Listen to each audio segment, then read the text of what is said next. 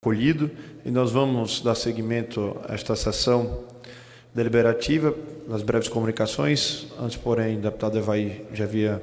pedido um minuto, concedo a Vossa Excelência, e deputado Betinho também. Senhor deputado... presidente, entre os dias 5 agora e 9 de julho, essa semana, o município de Presidente Kennedy,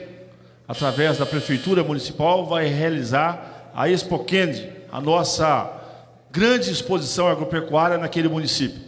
liderado politicamente pela prefeita Amanda Quintas, que tem feito do planejamento e da organização uma marca do seu mandato, realizou um planejamento estratégico da agricultura, depois, no passo seguinte, um planejamento estratégico para aquele município, vai realizar, além da exposição, é claro, um grande evento de confraternização, evento para os agricultores, com a parte técnica, com a parte cultural, de forma que vai dar dignidade e oportunidade também de alegria para o povo do município e com certeza integrar todo o sul capixaba. Então nós estaremos nesse final de semana naquele município, com aquela liderada pela nossa prefeita, nossos vereadores e secretário, e acima de tudo com os nossos agricultores. Presidente Kennedy é um município da agricultura, de um povo honrado e trabalhador, e tem no nosso mandato o compromisso de ajudar aquele município a se tornar um campo de oportunidades.